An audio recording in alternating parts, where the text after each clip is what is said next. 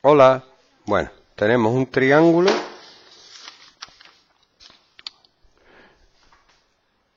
en cuyos vértices tenemos tres masas de 200 kilogramos, 200 kilogramos y 400 kilogramos. A estos puntos le vamos a llamar A, B y C. Y nos dicen que es un triángulo equilátero y tiene 3 metros de altura. ¿Vale? Entonces, de alguna manera, hay que calcular el lado y nos piden la intensidad del campo de gravitatorio en el baricentro del triángulo. Esas son las cosillas que hay que saber. El baricentro está a un tercio de la altura. Si la altura es 3, ya sabemos que esto mide 1 y de aquí a aquí mide 2. Ya sabemos algo.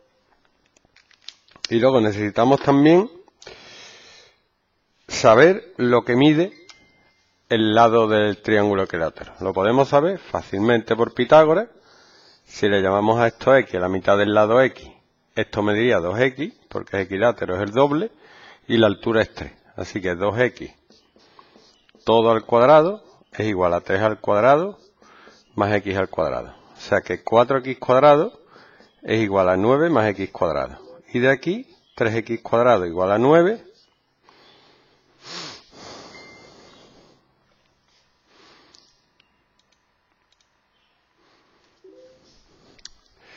3x cuadrado es 9, x cuadrado es 3 y x solo puede ser raíz de 3. Es decir, que tenemos que a la mitad del lado mide raíz de 3 y el lado mide 2 raíz de 3. Nosotros, como queremos calcular el campo gravitatorio en el baricentro, vamos a colocar los ejes aquí, ¿vale? Estos son los ejes. Y vamos a dibujar la fuerza gravitatoria que actuaría sobre ese, punto, que es el campo gravitatorio, si la masa que hubiera aquí fuera 1. Está claro que esto va a tirar de aquí para arriba. Esto va a tirar en esta dirección. Y esto va a tirar en esta dirección. ¿Vale? Eh, a esto le vamos a llamar G al centro le vamos a D, G de B con D, G de A con D y G de C con D. Como siempre, tenemos que calcular los vectores unitarios, que sería el vector unitario de B con D sería este vector que va de aquí, de D a B, que mide, ya sabemos que la altura es 3 y que el baricentro está un tercio, entonces tiene que medir 2.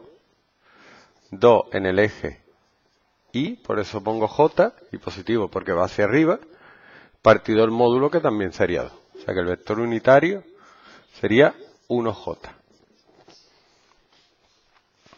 Luego tenemos el vector unitario de A con D.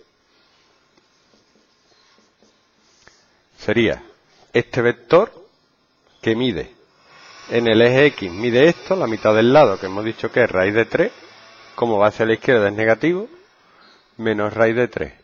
Y, y esto mide 1, menos 1J. Porque va hacia abajo. Siempre a la derecha, arriba positivo, izquierda abajo negativo. Partido el módulo del vector, que sería la componente X al cuadrado más la componente y al cuadrado. Raíz de 3 al cuadrado es 3, más 1, 4, raíz de 4 es 2. O sea que sería menos raíz de 3 y menos 1j partido 2. Y el otro, u de c con d, sería el vector que me diría en x raíz de 3 en positivo porque va hacia la derecha, raíz de 3 menos 1j porque va para abajo, partido el módulo va a ser el mismo de este que de este. 2. ¿Vale? Ahora tendré que calcular la g de cada una. Ya sé que la fórmula de g es g por la masa partido la distancia al cuadrado por el vector unitario. ¿Vale? Entonces, g de b con d sería g por la masa de b, que es 400, partido eh, la distancia al cuadrado, que es 2, por el vector unitario, que es 1j. ¿Vale?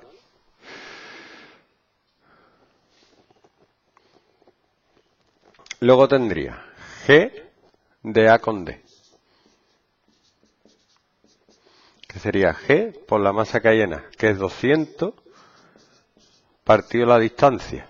Hay que la distancia esta no la he calculado, no la puedo calcular fácilmente.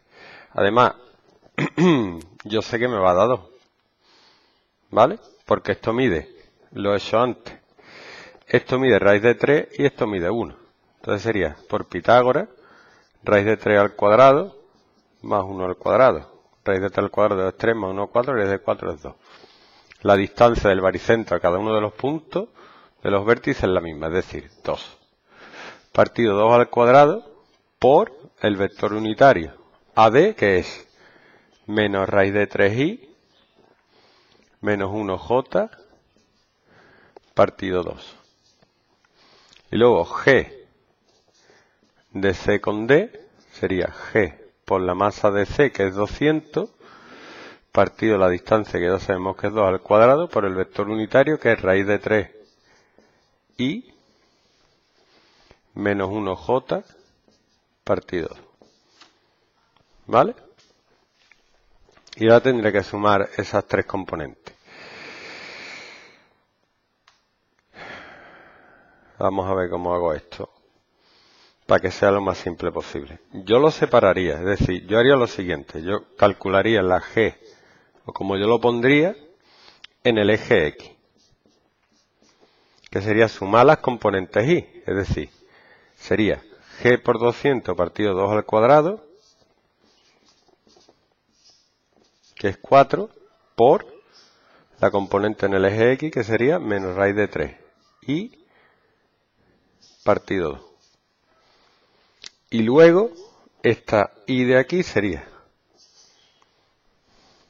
la g menos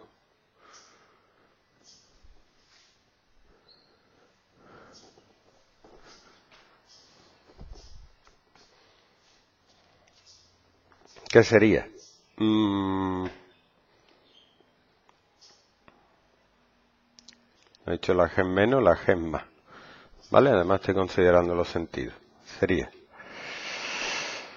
más la componente x, que sería la que tiene el vector y, que sería g por 200 partido 4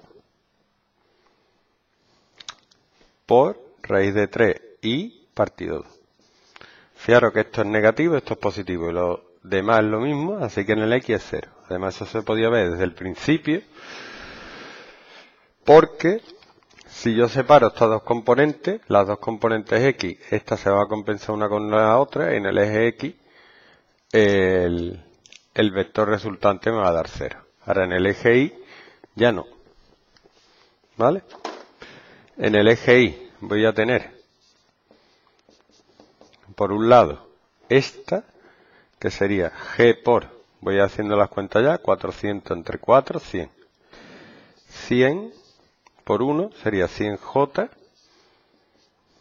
Luego la componente J de aquí sería más G por 200 entre 4, 50 por menos J partido 2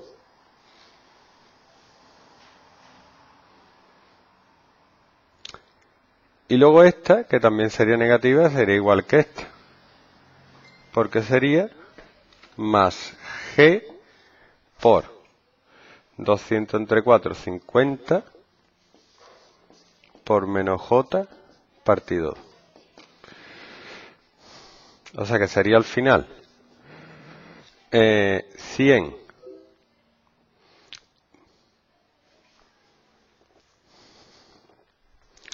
Esto sería 50 entre 2, 25, lo voy a escribir, g por 100 más, perdón, menos g por 25 menos g por 25 de j.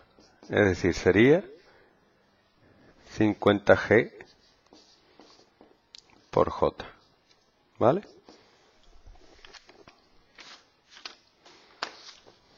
Sería 50 por 6,67 exponente menos 11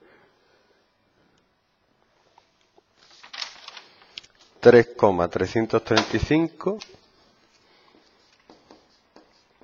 por 10 elevado a menos 9, j. Y la componente i es 0. ¿Vale? O sea que el vector campo sería 0i menos 3,335 por 10 elevado a menos 9, j. Y ya está. está claro que estas dos masas son más pequeñas que estas, y están en un ángulo. Entonces, estas dos son más pequeñitas y no van a sumar tanto como esta, por eso me sale positivo y quiere decir que el cuerpo que yo ponga aquí se va a mover lentamente hacia aquí.